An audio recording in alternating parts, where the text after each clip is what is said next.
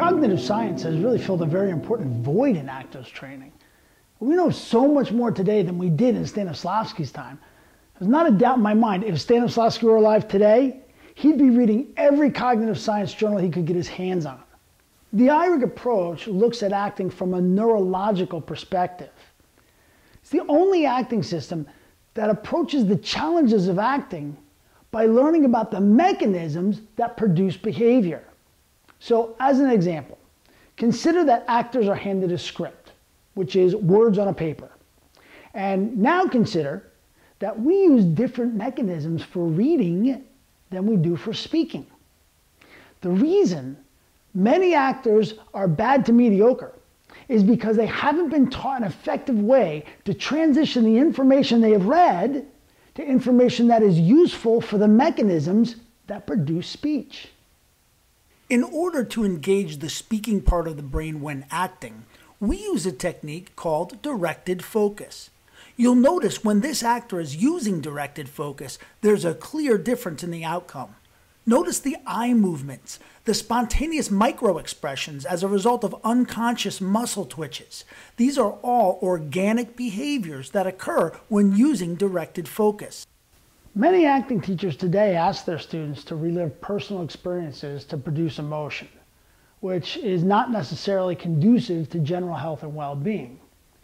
But from the neurological perspective, understanding that the mechanisms of memory and learning are contextually based we use specific methods to successfully create memories and behaviors for our characters that are naturally compartmentalized. Here's what some trained actors had to say after a workshop on the Ihrig approach. Applying it for acting made everything feel so much more real and present in this moment now. It, it really helps with a sense of authenticity.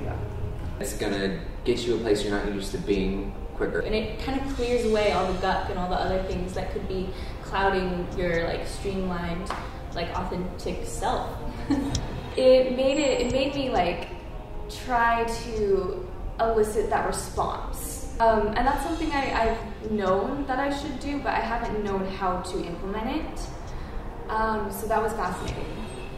This is such quick and fundamental work that's really effective that once you start layering on actions, you start layering on circumstances and super dreams and stuff like that, then you're like, oh my gosh, this makes so much more sense.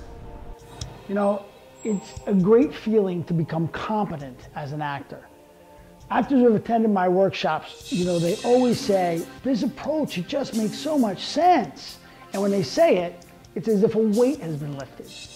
Because this technique takes the mystery out of acting and it gives actors a direct and reliable, consistent way to create authentic behavior and performance.